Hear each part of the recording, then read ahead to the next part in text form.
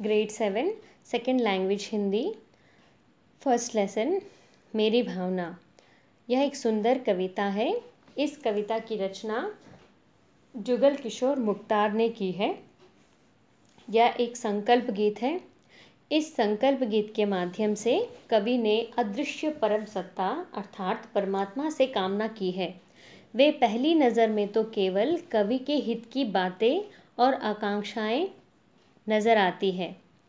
लेकिन जो दरअसल उतनी भर है नहीं, यहाँ पर उन्होंने केवल और केवल मानव मात्र के हित का चिंतन, यानी उनकी भलाई का चिंतन किया है।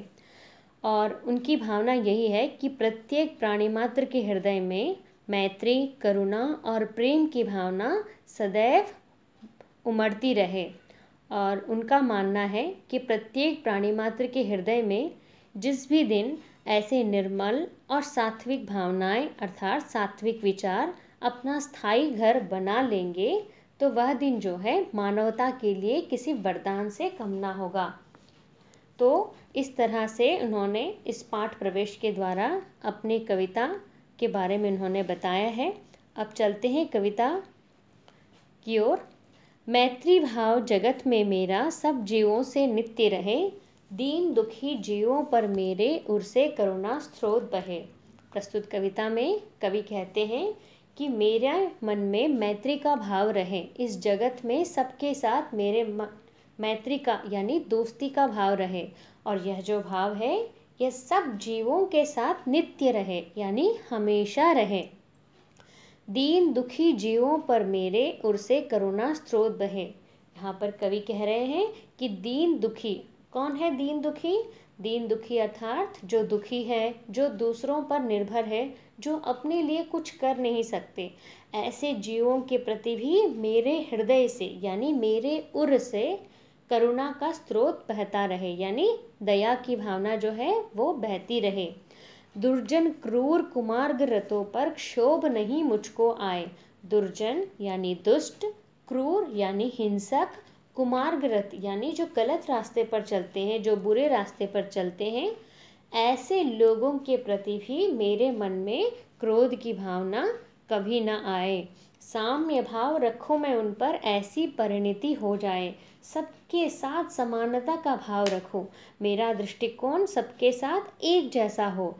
ऐसा बदलाव मेरे भीतर हो जाए, ऐसी परिणति हो जाए।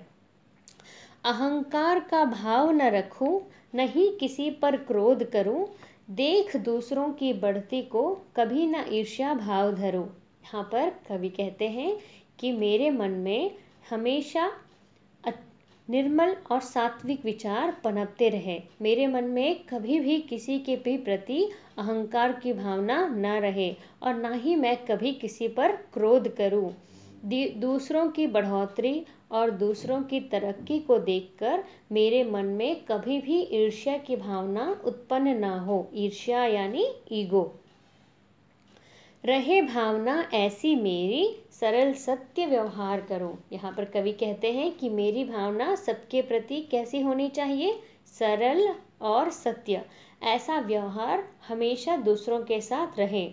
बने जहाँ तक इस जीवन में औरों का उपकार करो। जहाँ तक संभव हो सके, मैं हमेशा दूसरों की मदद करता रहूँ, दूसरों की भलाई करता रहूँ और उनका उपकार करता रहूँ। गुनी जनों को देख हृदय में मेरे प्रेम उमड़ आए, बने जहाँ तक उनकी सेवा करके यह मन सुख पाए। गुणी जन यानी जो पढ़े लिखे, जो बुद्धिजीवी लोग हैं, उनके भी प्रति उनके प्रति भी मेरे हृदय में सदैव प्रेम की भावना उमड़ती रहे। उनके, मेरे मन में उनके प्रति कभी भी ईर्ष्या की भावना उत्पन्न ना हो। बने जहाँ तक उनकी सेवा करके यह मन सुख पाए, जहाँ तक संभव हो सके मैं हमेशा नित्य मैं उनकी सेवा करता रहूँ और मेरे मन को सुख प्राप्त होता रहे। हो नहीं कृतज्ञ कभी मैं, द्रोह न मेरे उर आए गुण ग्रहण का भाव रहे नित दृष्टि न दोषों पर जाए। हो नहीं कृतज्ञ। कृतज्ञ का अर्थ होता है उपकार ना मानने वाला, अर्थात अनग्रेटफुल और थैंकलेस मैं कभी भी किसी के भी प्रति थैंकलेस उपकार ना मानने वाला, ना मानने वाला कभी ना बनूं। सब सदैव सबके साथ एक जैसा व्यवहार करूँ और मेरे मन में द्रोह यानी हिंसक प्रवृत्ति, यानी हिंसा की भावना, अपराध की भावना कभी भी ना आए। मैं सबके साथ एक जैसा समानता का भाव रखूँ। गुण ग्रहण का भाव रहे, नित दृष्टि न दोषों पर जाए। मेरे मन में सदैव गुणों को ग्रहण करने की ही भावना रहे और मैं उनके दोषों पर कभी ना दृष्टि न रखूँ। उनके दोषों पर कभी ना दृष्टि फेरूं मैं। कभी पर कभी भी हमें सदैव दूसरों के गुणों को ही ग्रहण करने की कोशिश करनी चाहिए, ना कि उनके दोषों पर। उससे क्या होगा, अगर हम उनके दोषों पर अपनी दृष्टि फेरेंगे तो हमारे भी मन में उनके प्रति फिर से वही क्रोध और वही अहंकार की भावना हमें भी उत्पन्न हो सकती है। इसीलिए सदैव हमें गुणों को ग्रहण करने की ही भावना रखनी चाहिए। कोई बुरा कहे या अच्छा लक्ष्मी आए या जाए लाखों वर्षों तक जीऊँ या मृत्यु आज ही आ जाए। कोई मुझे बुरा कहे या कोई अच्छा संपत्ति हो या ना हो लाखों वर्षों तक मैं जीऊँ या फिर मृत्यु क्यों ना आज ही आ जाए। ऐसी भी स्थिति में मैं हमेशा सबके साथ एक सा व्यवहार एक जैसा व्यवहार करूँ, सबके साथ समानता का व्यवहार रखूँ। अथवा कोई कैसा ही भय या लालच क्यों न देने आए तो भी न्याय मार्ग से मेरा कभी ना पग डिगने पाए। कोई कैसा ही भय या लालच क्यों ना मुझे देने आए, तब भी मेरा मन और मेरे कदम न्याय मार्ग से विचलित ना हो, मेरे कदम कभी भी पीछे ना हट पाए। होकर सुख में मगन न फूले, दुख में कभी न घबराए पर्वत नदी शमशान भयानक अठवी से नहीं भय खाए। यहाँ पर कवि कह रहे हैं कि सुख आने पर न हमें ज़्यादा खुश होना है और ना ही दुख में कभी घबराना है। प्रत्येक स्थिति में चाहे परिस्थिति कैसी भी क्यों ना हो, चाहे परिस्थिति सही या गलत, हर परिस्थिति में हमारा मन और हमारा व्यवहार एक जैसा होना चाहिए। पर्वत, नदी, शमशान और भयानक अठवी, अर्थात जंगल इन सबसे मैं कभी ना डरूं। रहे अडोल अकंप निरंतर, यह मन दृढ़तर बन जाए, इष्ट वियोग अनिष्ट योग में सहनशीलता दिखलाए। यहाँ पर कवि कह रहे हैं कि मेरा मन अडोल अकंप निरंतर रहे और मेरा मन दृढ़तर बन जाए। अडोल का अर्थ होता है अडोल यानी अटल, अडिग, जिसे इमूवेबल भी कहते हैं। मेरा मन जो है अडोल और अकंप अकंप यानी स्थिर स्टेबल मेरा मन हमेशा स्थिर रहे और मेरा मन मज़बूत बना रहे। चाहे परिस्थिति कैसी भी क्यों ना हो, मेरा मन हमेशा मज़बूत रहे। इष्ट वियोग और अनिष्ट योग में सहनशीलता दिखलाए। इष्ट वियोग अर्थात किसी प्रिय का वियोग या फिर किसी उपलब्धि का मिलते मिलते रह जाना। और अनिष्ट योग न चाहते हुए भी कुछ अहितकर घट जाना। विषम स्थिति में पड़ जाना या फिर अनचाहा संकट का गले में पड़ना।